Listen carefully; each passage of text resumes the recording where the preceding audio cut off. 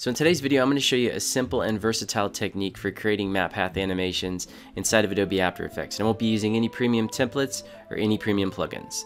So for the first step, I want to gather up a few graphic elements. I have two pieces of vector artwork here. I have an airplane and I have a world map. I got both of these from a website called Envato Elements. It's a huge library of um, digital assets that you if you sign up for like a monthly subscription you can get unlimited downloads which is really cool. If you want to check that out follow my affiliate link in the video description.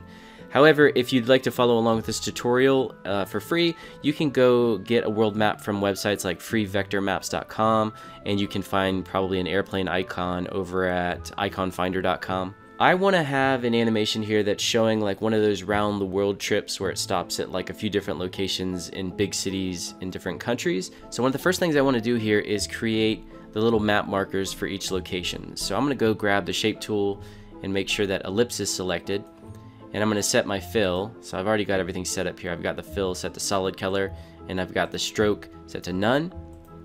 Now I'm just going to click and drag and hold the shift key to draw out a small ellipse and I'm gonna solo this so I can see it. And I'm gonna open up the group here and see if I can tweak a few things. Let's just change the size to maybe 30 pixels and I'm gonna set the position and the transformation properties of the shape element to zero and that's gonna put it right in the middle of our composition.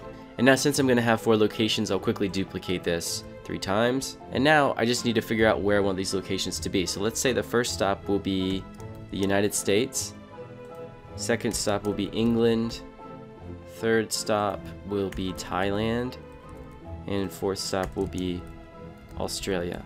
Now I'll unsolo all these. Now I'm just gonna kind of eyeball and put these in. So I'll turn off the airplane. So let's go over here. I'll grab the US marker. I'll just put it over here. Now grab England.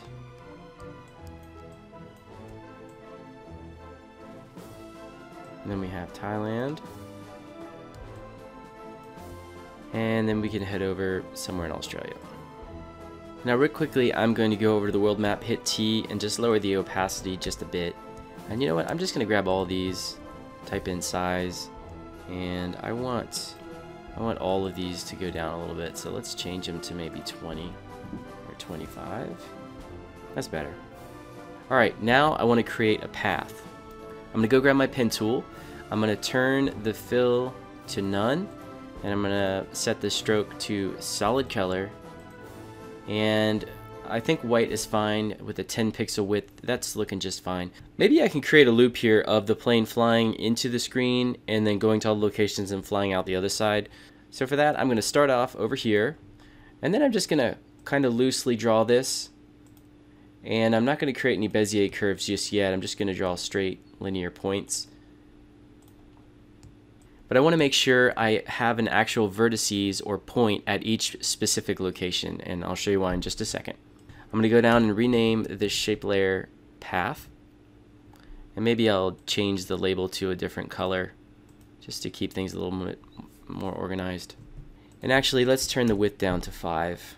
So I have my map markers of my locations, I have my path now, I have my airplane icon. I just need to connect it all together and make it tight, more precise, and just rig everything up so that everything's connected. And I'm going to do that using the create nulls from path script. So under window, if I go down, there's a script down here that says create nulls from paths. Now this is only available in After Effects version. I don't know the version, but it came out in 2018 It was introduced. So if you're using an older version of After Effects, you might not see this, so you'll need to update.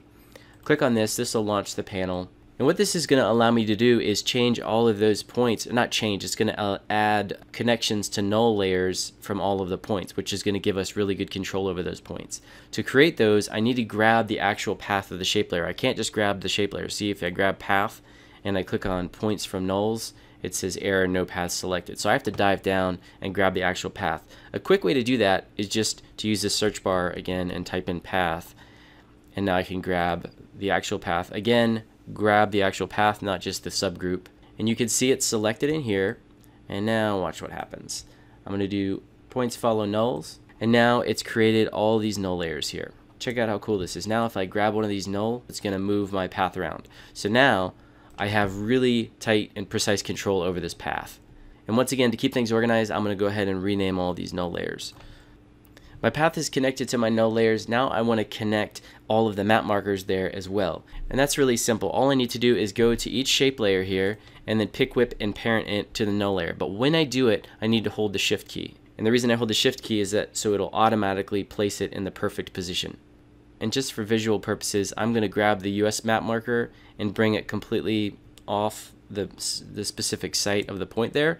And now you'll see when I go to the shape layer here and grab the pick whip, hold the shift key, and then release over the US point, it's going to snap directly to that point. And now when I grab the null layer, look what happens. So I'll just repeat this step for all of these. One other added benefit of this is this gives me scale control over these map markers as well. So now if I scale up this null layer, it's going to scale up that marker. So I'll have scale controls not only on the shape layer element, but then the secondary controls on all these null layers. Now everything's really rigged up with the path and the locations. Uh, and now I want to bring my airplane and connect it to that path. And I'm going to do that using the trace path of this script. So I'm going to go back to the path here, search for path again, and I'm going to grab it and I'm going to click on trace path. And what that does is that places a null layer along the path, animates it along the path, and loops it. Now as I scrub along here, watch. Now I don't want this to loop, I just want it to animate one time. So if you see what's going on here, I'm going to go to this trace path. I'm going to hit the U key to bring up keyframes, and you can see there's a little progress bar or a progress effect with two keyframes, and this is uh, essentially what's going on here. It animates on once and then it loops. So to turn the loop off, I can go up to the effect controls panel and then right here there's a loop checkbox. So I turn that off and now it will only animate on once and then stop.